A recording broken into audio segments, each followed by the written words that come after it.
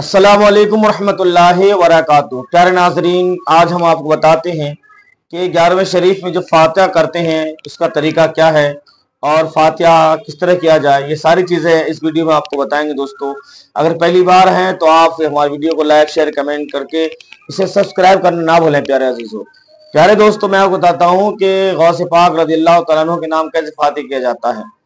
वैसे तो तमाम फातिहा जो है, एक जैसा ही होता है लेकिन गौस आज़म रज़ी अल्लाह तु के फातिहा के बारे में लोग सोचते हैं किस तरह किया जाए।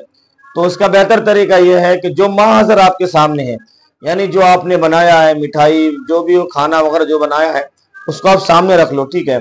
सामने रखने के बाद आप कुरान फुरकान हमीद की जो है, एक दो सूरतें पढ़ ली जो आपको याद है। जैसे सूर्य यासीन है सूर्य रहमान है सूर्य मुल्क है सूर्य मुजम्मिल है सूर्य फतेह है, जो आपको याद हो, उनमें से एक सूरत को पढ़ लीजिए। उसके बाद आप जो है चारों कुल पढ़िए। चारों कुल में कुलिया काफिरून है कुल्ला शरीफ है, और कुलौज बिरबिल फलक कुलौज बिरबिल नास।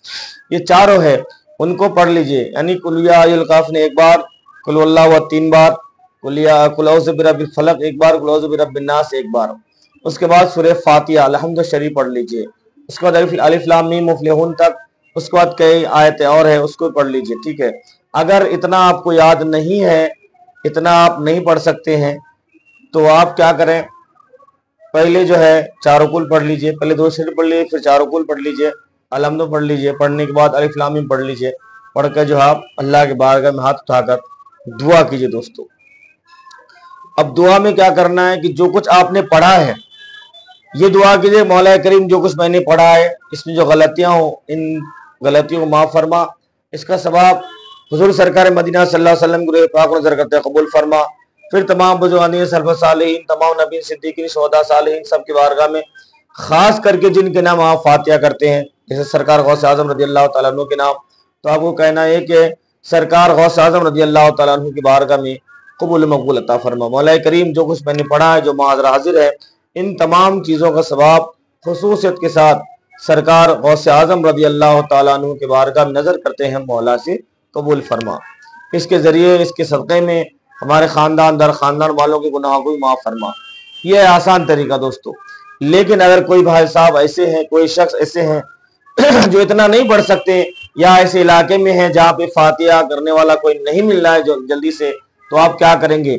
कि आप चारों कुल पढ़ के या सूर्य फातिहा पढ़ लो और उस हाथ उठाकर दुआ कर दो। अगर आपको वही पढ़ना नहीं आता है तो दिल में इरादा करें फातिहा के, कि मौला जो कुछ मेरे दिल में है, मैं तेरी बारगाह में अर्ज़ करता हूँ। और जो आप अपने दिल से दुआएँ मांगना चाहें, हाथ उठाकर अल्लाह के बारे में दुआ कर दीजिए।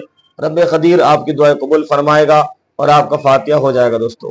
प्यारे अजीज़ों, फातिहा करना कोई फ़र्ज़ नहीं है, ठीक है? अगर नहीं भी करेंगे तो गुना नहीं होगा, लेकिन फातिहा करना चाहिए, ठीक है? उसके बाद फातिहा के साथ साथ जो अहम काम है वो ये है कि नमाज़ नमाज़ की पाबंदी करें दोस्तों। नमाज़ पढ़ना बहुत ही ज़रूरी है। फातिहा अगर नहीं करेंगे तो कोई गुना नहीं है। लेकिन नमाज़ अगर छोड़ देंगे तो गुनाह अजीम होगा दोस्तों।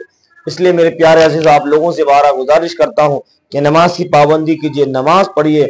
नमाज़ पढ़ने से आपकी हर परेशानी दूर हो जाएगी नामा अमाल में नेकिया भी लिखी जाएगी।